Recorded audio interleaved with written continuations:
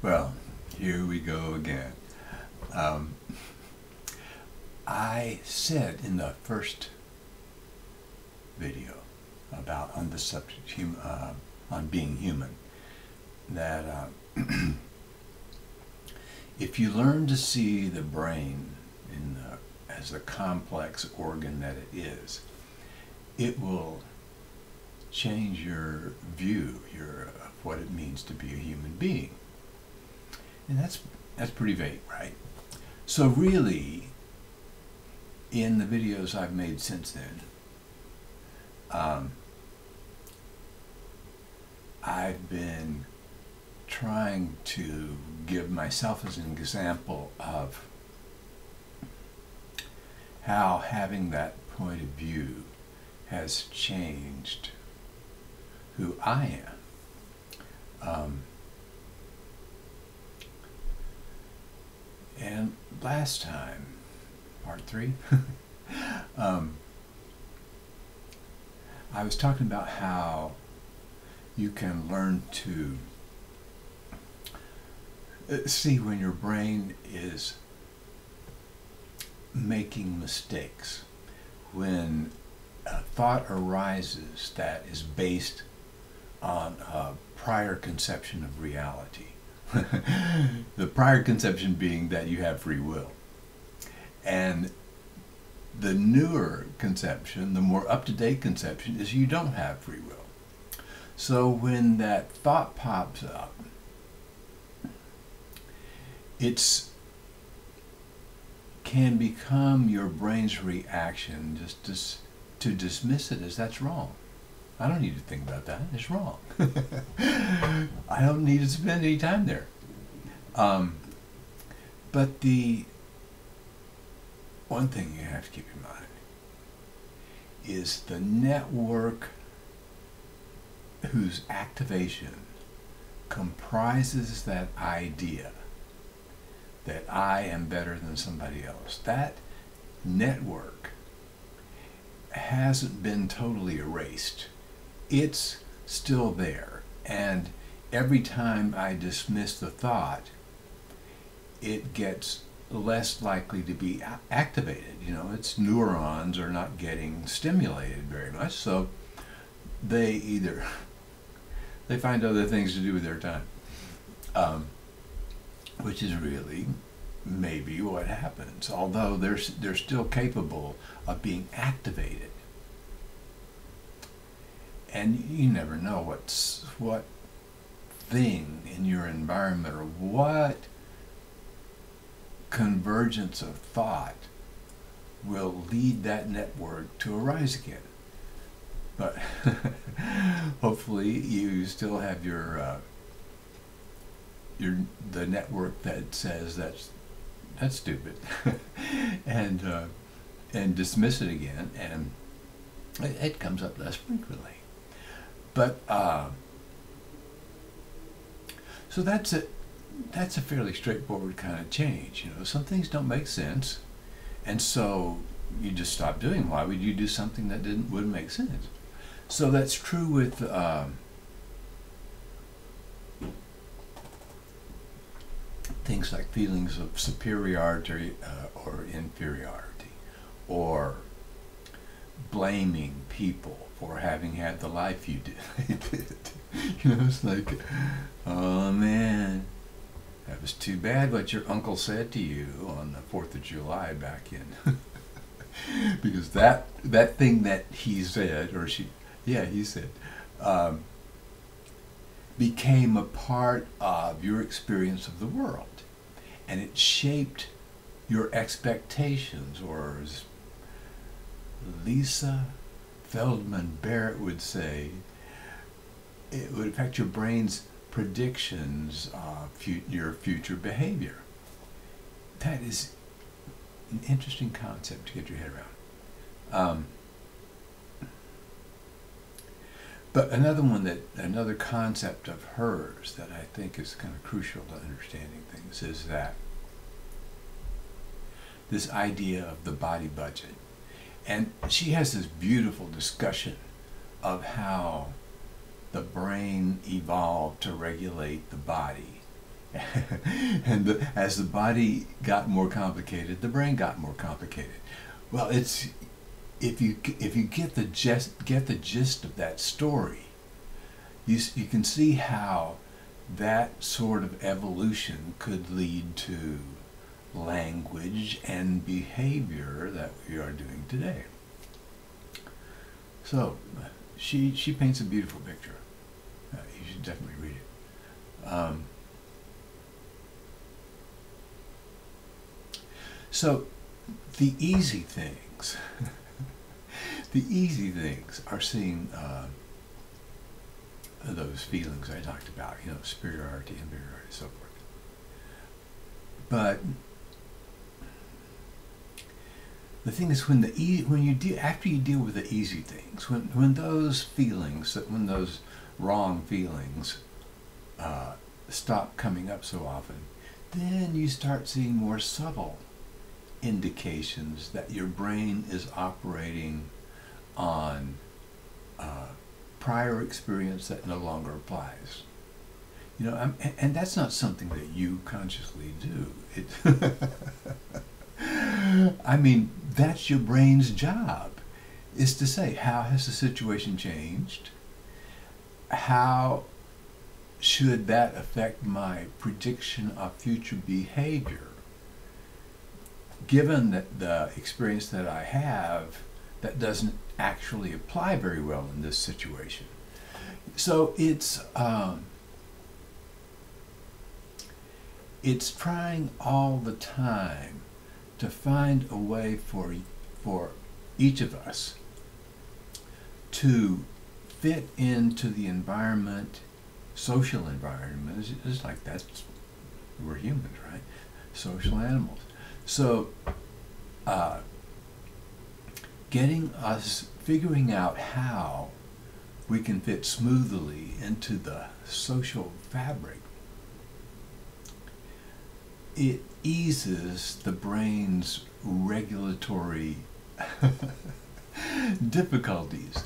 You know, if you're in in uh, a situation where everyone's in agreement and you have a nice situation, everything's going well. Um,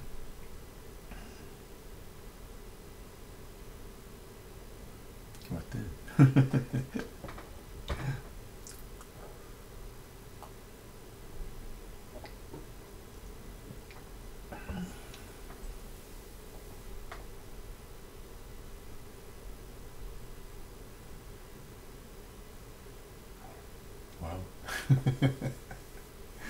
Lost that one.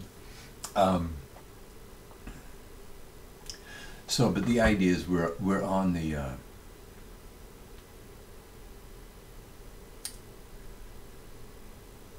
the tricky stuff, and. Uh,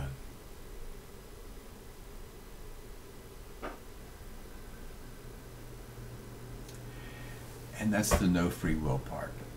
And Lisa, she can't go there. And, and I totally understand. It's hard. because when you realize that there's no free will,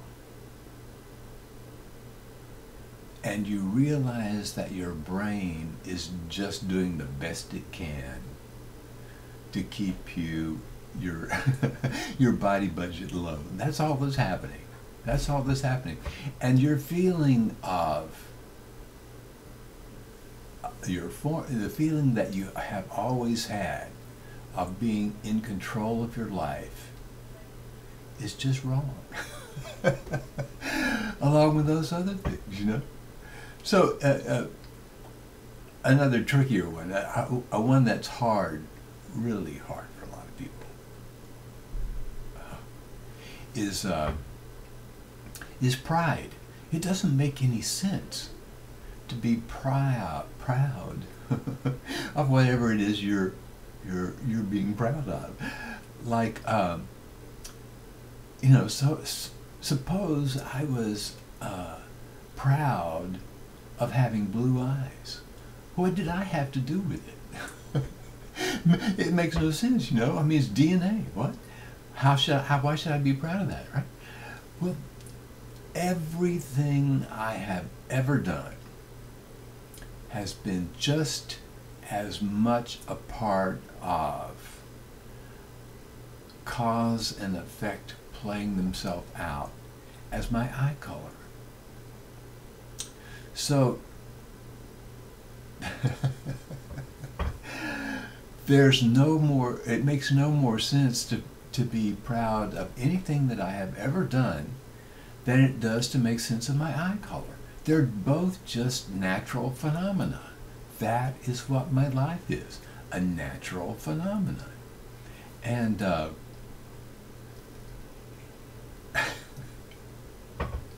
that feeling of being in, in control of it, it's um, it's so automatic. You know, I mean, if you've been doing it all your life, if you've been having that feeling all your life, it's like, how do I, how do, that's wrong, you know, of course, I'm not in control. So how, but how do I see that differently?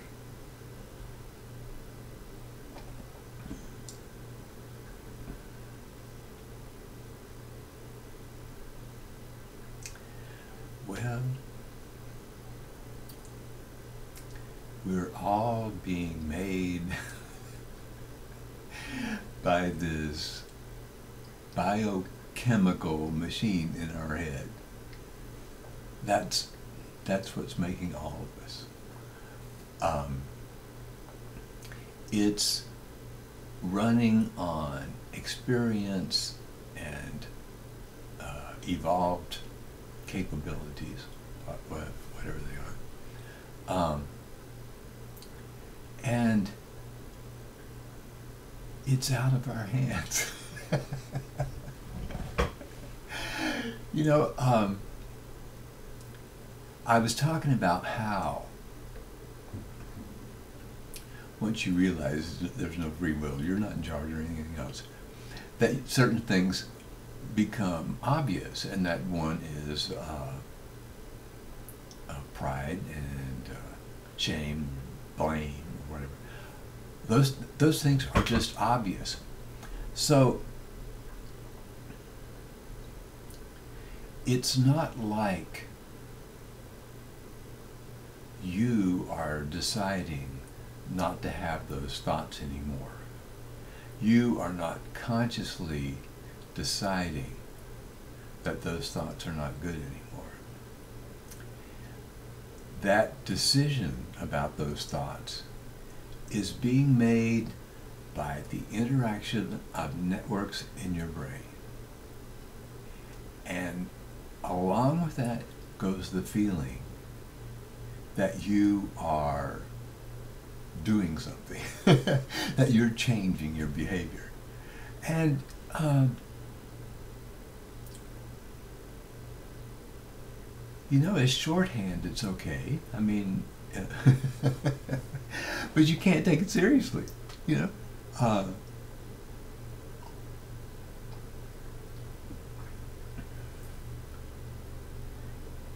if you pay attention to what goes on in your brain,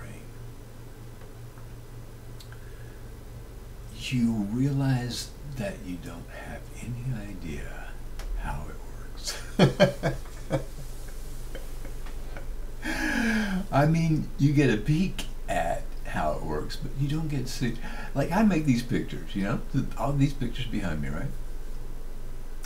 And in the process of making them, I do it on a computer, right? There's 50 million decisions that have to be made.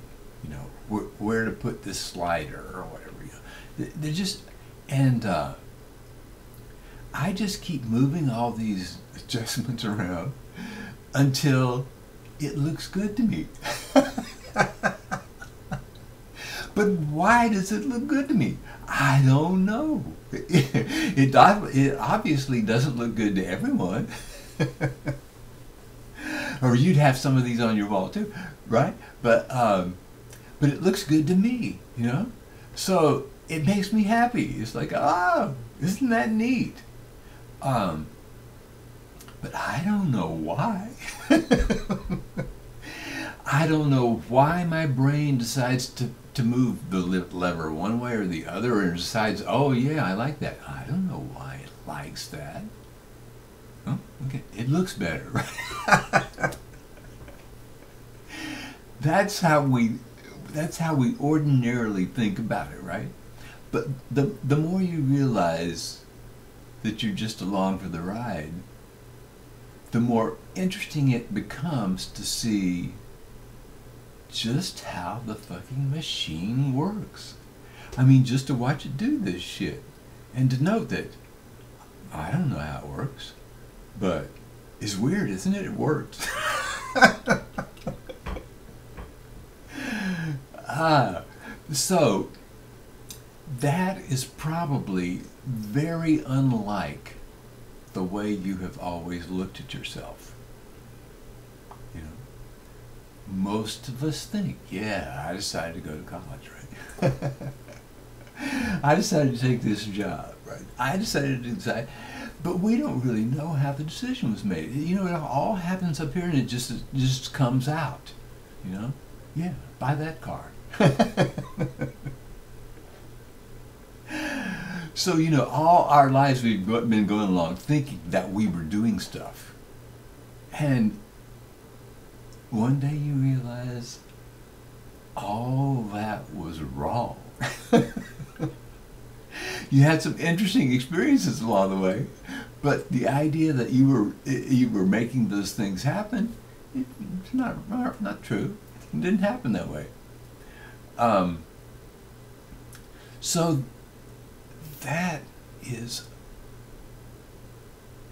you know, I think, for me, it's radically different than the way I used to look at myself. And it was scary at first. You know, it's like, what the fuck? Where do I go from here? You know? it was like total, total confusion. Uh, but for me, the way out of the, out of the confusion is what's the science, you know? What? how does this thing work? You know, that'll uh, clarify you know? How, why does it see reality the way it does? So you can't, you know, like I say, I don't know why it likes one picture more than the other. But you know that in principle, behind the scenes, it's my whole life experience that comes together to like this particular configuration of colors. And the whole process just happened. just fucking happened, you know? It's like, you know, the scientific view of the the origin of the universe and everything that happens since then is just the Big Bang just happened. so far, we're not sure why, but it happened, right? That's that's the way the whole thing looks, right? That's the way the whole thing comes out, and that's the way our lives are. We don't know why, but they just happen. They come out the way they do, and to me, it's a wonderful thing to see that process. I mean, I don't understand it. I don't, you know, it's, it's, uh, I mean, it's like you can't watch it work in real time, you know. There's too many neurons firing up there. It's just, you know, no, no way. So you, you get this, like, Reader's Digest version of what's going on. Um, but it's interesting, you know. Uh, it's just amazing that it works. yeah, and I, I, have no doubt that it works. I mean, um, I'm sure. I'm, i think the science is good. But read Lisa's book. You know, maybe you'll be more impressed. Um, anyway. I think that's enough. So,